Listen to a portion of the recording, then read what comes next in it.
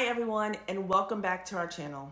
If you're on the home buying journey, a big question you might be grappling with is whether to go for a new construction or a resale home.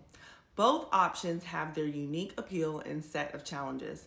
Today we'll dive deep into the topic covering costs, benefits, and everything in between to help you make an informed decision. So grab a cup of coffee and let's get started. Let's start with the charm of older resale homes. Resale homes often exude a unique charm and character. They are nestled in established neighborhoods with mature trees, a sense of community, and a slice of history. So let's start with the pros of a resale home, okay? So, first, character, unique architectural detail, and a sense of history that new homes might lack. Second, established neighborhoods. You're gonna have mature trees, developed parks, and long standing communities. Third, lower initial costs, generally lower purchase price compared to a new construction. Number four, immediate availability. No waiting period as the house is ready to move in. Now, let's move on to the cons of resale homes. Number one, outdated systems. So, this may require updates or renovations to modernize. Number two, maintenance. Older systems might need more maintenance or replacements. Number three, less energy efficient. Often lack the latest energy saving features unless upgraded. And lastly, less customization. What you see is essentially what you're going to get in that home. Now, shifting gears to new construction. New construction boasts modern design, energy efficiency, and the opportunity to customize. So, let's start with the pros of new construction. Number one, modern design. You're gonna get sleek designs with contemporary aesthetics. Number two, energy efficient.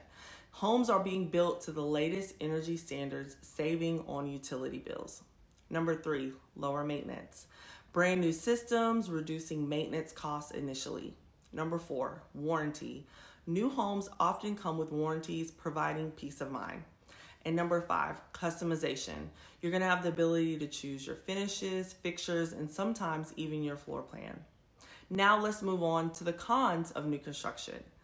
Number one, higher initial costs. Generally, homes are gonna be priced higher than resale homes. Number two, developing neighborhoods. You might lack mature trees and establish that established community feel. Number three, smaller lots. Homes are often going to come with smaller lots, and the proximity to your neighbors are going to be a little bit closer. And then lastly, your wait time. You may have to wait for your home to be built. One significant pivot point is the $500,000 mark, okay? So around this budget, you might find that new construction becomes more attainable, offering more space and better community planning. And this often tips the scale in favor of new homes for buyers who initially lean towards resale homes due to the budget constraints.